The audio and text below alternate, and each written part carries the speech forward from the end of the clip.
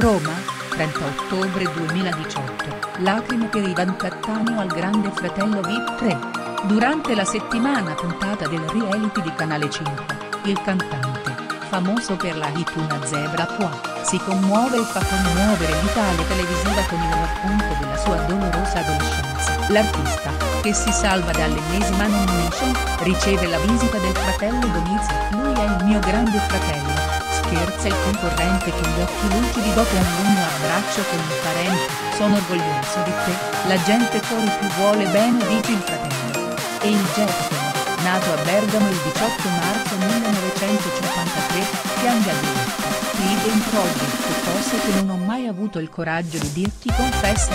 E, infatti, l'artista ha raccontato alcuni dettagli del suo doloroso passato come quando, da bambino, i genitori lo mandarono in seminario io mi sentivo già diverso, ma non era quello il posto adatto svela Cattaneo. E, ancora, una volta,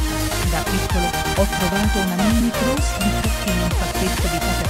quando mio padre mi ha visto con il viso dipinto mi ha tirato una sberla, ma mia mamma mi ha difeso aggiunge il cantante con le lacrime agli occhi. Ma il racconto ha fatto scendere le lacrime anche agli altri inquilini della casa che poi si stringono in un grande abbraccio con l'artista. Cattaneo non è soltanto uno dei principali esponenti dell'ondata artistica che negli anni 70 accostava la canzone d'autore alla sperimentazione elettronica il concorrente del GFV 3 è da sempre impegnato per sostenere i diritti delle persone gay e con le sue canzoni ha toccato temi che spaziano dalla violenza al razzismo, dall'omosessualità alla libera sessuale. La toccante parentesi dedicata alla vita di Cattaneo è stata poi alternata a momenti più giocosi, al racconto della love story tra Jane Alexander e Ria Fongaro che, però, si è dovuta interrompere o,